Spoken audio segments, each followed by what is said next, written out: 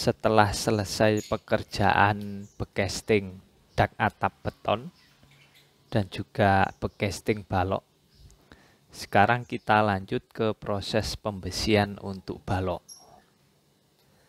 di mana balok ada dua macam yakni balok beton dan juga balok baja. Bagaimana pembesian balok dan juga detail pertemuan balok beton dan balok baja, ikuti terus video ini. Ini ada balok baja pakai WF 450 dengan bentang 12 meter. Dan ini WF 250. Ini WF 200. Ini balok beton B9 dengan ukuran 25 kali 50 sedangkan yang ini balok B4 dengan ukuran 20 40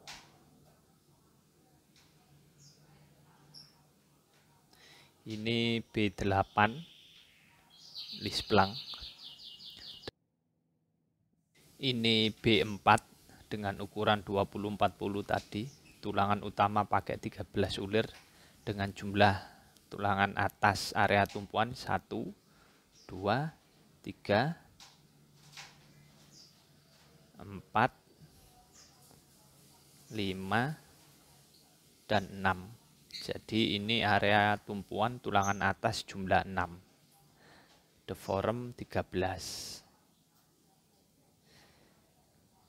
Sedangkan ini sengkangnya pakai diameter 8 dengan jarak 10 cm. Sedangkan untuk tulangan di bawah untuk area tumpuan jumlahnya 3, 1, 2, 3. Ini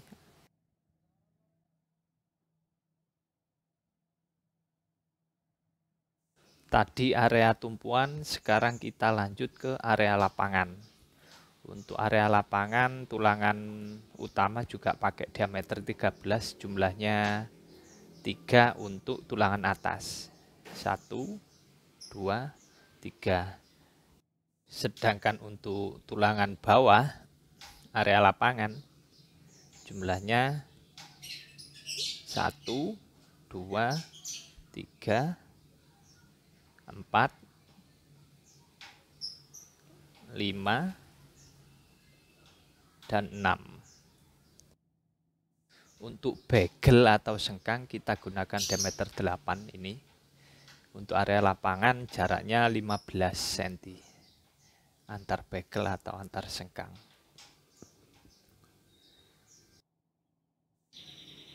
Ini adalah area overlap pertemuan tumpuan dan lapangan. Jadi ini dengan ini adalah area overlap di mana jaraknya adalah 40 kali D di mana D-nya adalah diameter tulangan utama.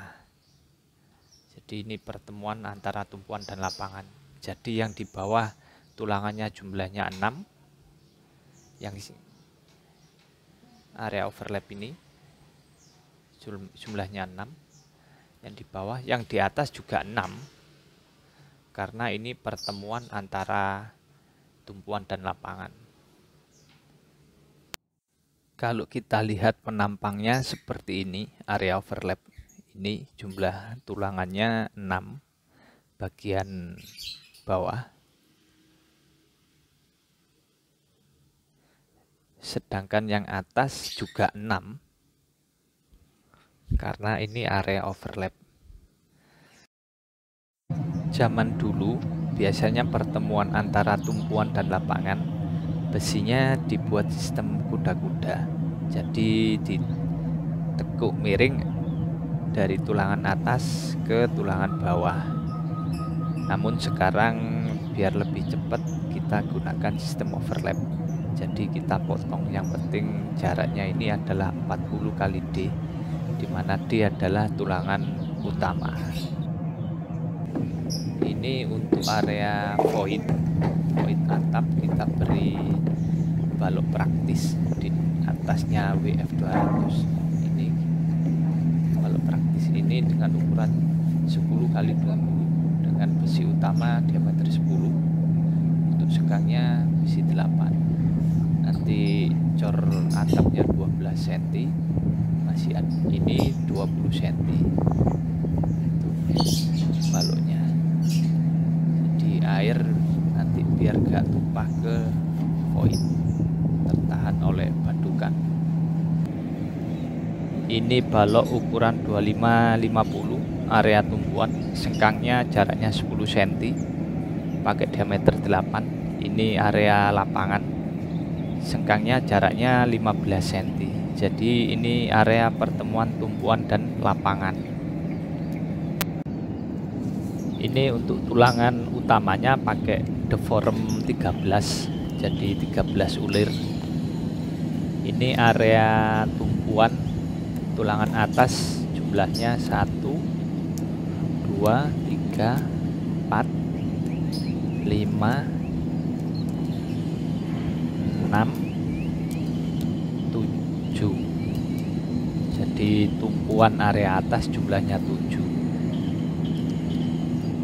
ini adalah area pertemuan tumpuan dan lapangan jadi overlap seperti penjelasan tadi. Jadi yang di bawah ini jumlahnya juga 7 1 2 3 4 5 6 7 ini untuk area lapangan tulangan atas jumlahnya 1 2 3 4 5 dan 6 jadi untuk lapangan tulangan atas jumlahnya 6 pakai deform 13 sedangkan yang di bawah area lapangan tulangan bawah ini bisa teman-teman saksikan. Ada 7 jumlahnya. 1 2 3 4 5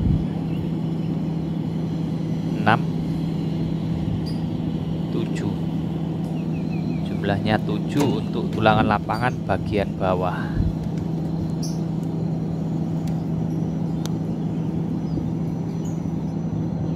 Untuk tulangan tengah kita beri dua diameter 10 ya ini ini satu dan ini dua. Pakai diameter 10 polos. Letaknya di tengah-tengah tinggi balok seperti ini. Dua ini kanan kiri ada di tengah tinggi balok kalau dilihat secara penampang ini tulangan lapangan bagian bawah jumlahnya 7 pakai deform 13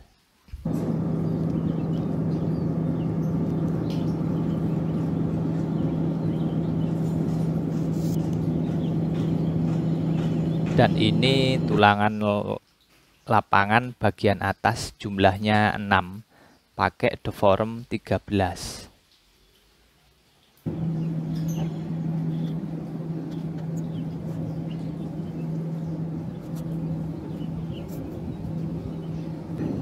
kalau kita lihat penampang di area tumpuan seperti ini ini tulangan bagian bawah jumlahnya 6 deform 13 tulangan ulir 13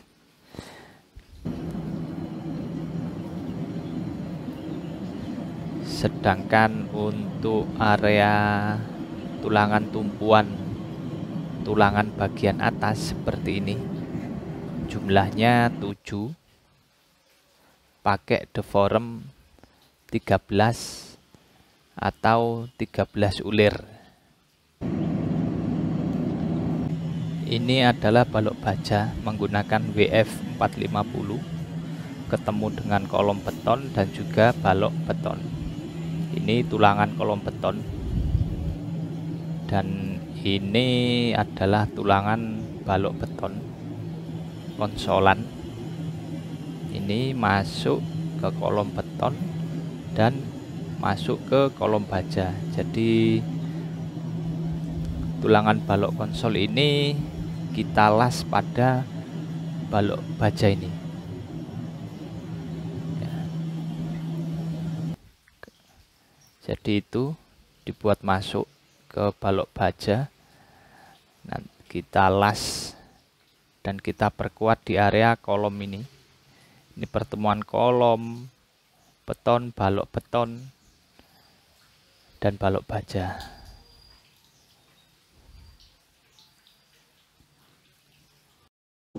Sedangkan ini pertemuan antara balok baja dengan balok beton. Ini yang warna hijau adalah balok baja ini joinnya pertemuannya adalah kita menggunakan angkur. Angkur pakai diameter 16 jumlahnya 4 kita beri plat plendes 12 mili ini. Jadi ini angkurnya ya, di dalam ini. Nanti kita cor bareng antara balok dan dek beton Terima kasih telah menyaksikan video ini. Semoga bermanfaat.